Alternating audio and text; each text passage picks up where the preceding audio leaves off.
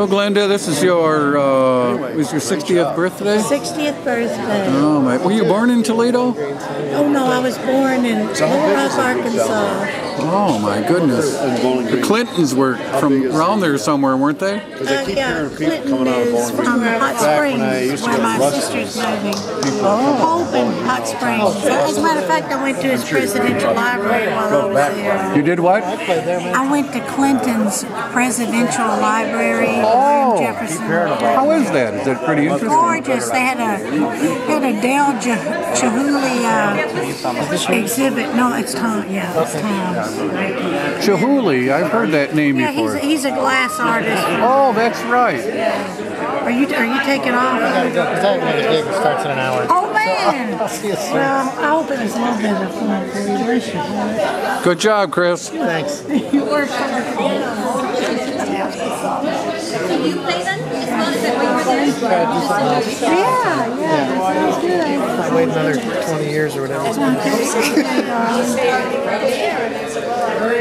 So then, what? What, like when you were like real young, what did you think you wanted to be when you grew up? A singer. All the time? All the time. As a matter of fact, uh, my sisters and I, we were laughing because I'd get the kids in the neighborhood together and we'd put on shows. Well, how old were you then? Nine, nine? ten, yeah. And uh, we'd, they'd stand in the breezeway and then they'd come out on the carport when I'd call them. And I told them, really, that's just what I do at school. Oh. You know, get sign certain people certain things. It's, it's funny. So, um, did, did you play any instruments when you were younger, or anybody in your house play instruments? Yes, uh, there was a lot of bluegrass being played. This was on our table. Oh, thank you. Thanks so much. Appreciate it. A lot of fiddles or uh, banjos Just- or yeah, uh, fiddle, but mainly guitar. Mainly just guitar. guitar? Uh, yeah. So there was a lot of pickers and you uh, and horns too. No, no horns. Just pickers. yeah. Oh, okay. A little bit of uh, backbeat on something, wash tubs or. No, no, they didn't go that far. They just kind of play at reunion, family reunions and stuff like that. So, do you remember the first song that you sang in front of people, uh, like more than your relatives? So what, what your first music I you started did? singing when I started. I got saved, and when I was 12 years old in the Nazarene Church, and I started. I sang. I believe in a hill called Mount Calvary with a friend of mine. We did a duet. That's that's when I started singing. Oh. When I was 12, How many people were there? Was it in church? it was in church. So there was Sunday probably a lot, night. Of, lot of people there. What year was this? Do you think? Let's see, 54, 64, 66. '66. What were you? Were you still in Little Rock then? What kind of music were you listening to? You were at '66. Elvis Presley had been around.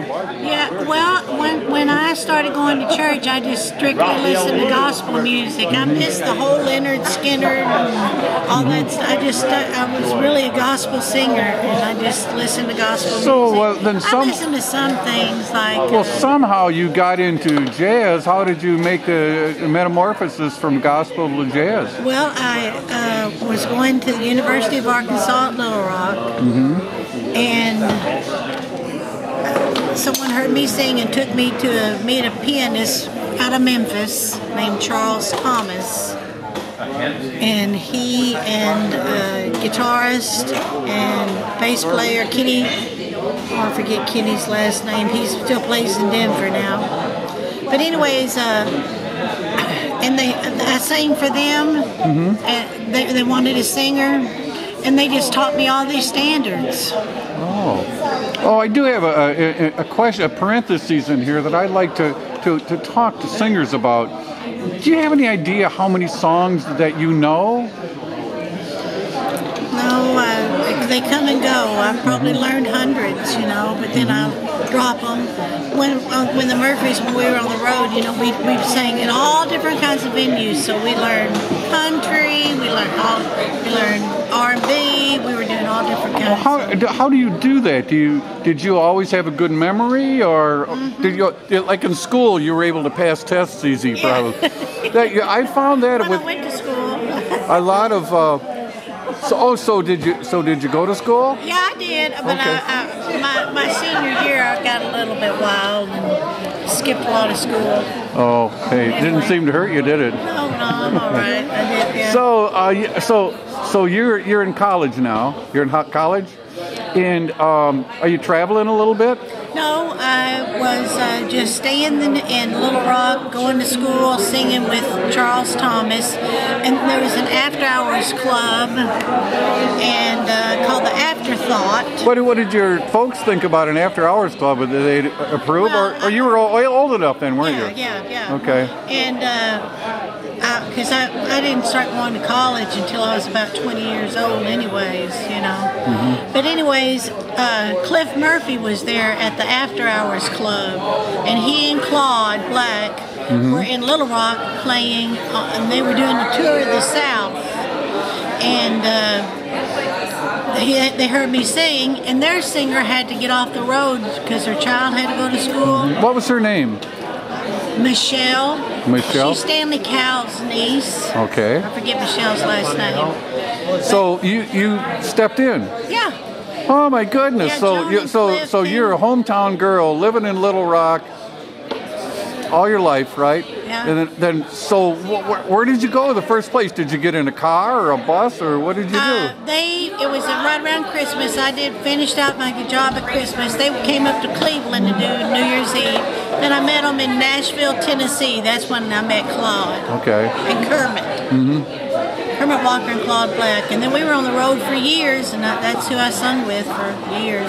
Well, where did you do? Did you travel by car? Yeah, mostly. yeah, yeah, by so how many? Like four people in the car? No, no, we, I had a car. They had the van. Oh, Kermit okay. had a car.